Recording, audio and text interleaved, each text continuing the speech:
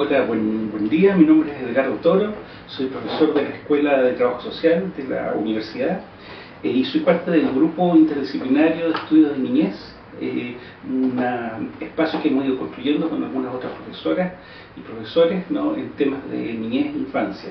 Eh, mi línea de investigación en particular tiene que ver con justamente los derechos de la niñez, pero sobre todo formas de vulneración ¿no? particularmente violencia sexual, violencia sexual en línea y explotación sexual.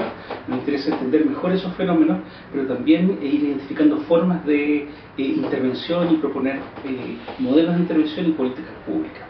Y en relación a eso, ¿no? quisiera comentar dos estudios en los que estamos involucrados, uno que acabamos de terminar esta, hace un par de semanas, que tiene que ver con sistematizar y entender y conocer formas ¿no?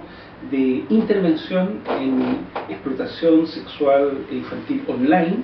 Para eso hicimos estudio con eh, experiencia internacional, eh, entrevistas de expertos, realizamos los equipos en, el país que trabajan en esa línea eh, y también entrevistamos a jóvenes que nos dieron su punto de vista sobre cuáles serían las mejores formas de generar formas de atención y el objetivo de eso era proponer justamente modelos de intervención y una política pública en ese ámbito, que es lo que acabamos de hacer con la Subsecretaría de la Niña.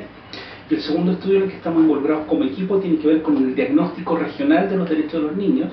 Nosotros estamos realizando con financiamiento del gobierno regional y la idea es justamente levantar una línea base de los derechos de los niños con diferentes actores eh, profesionales fuentes secundarias, profesionales que trabajan con la niñez y propios niños y jóvenes a través de metodologías participativas, de tal manera también de poder proponer eh, planes y eh, una política regional de promoción de los derechos de la niñez.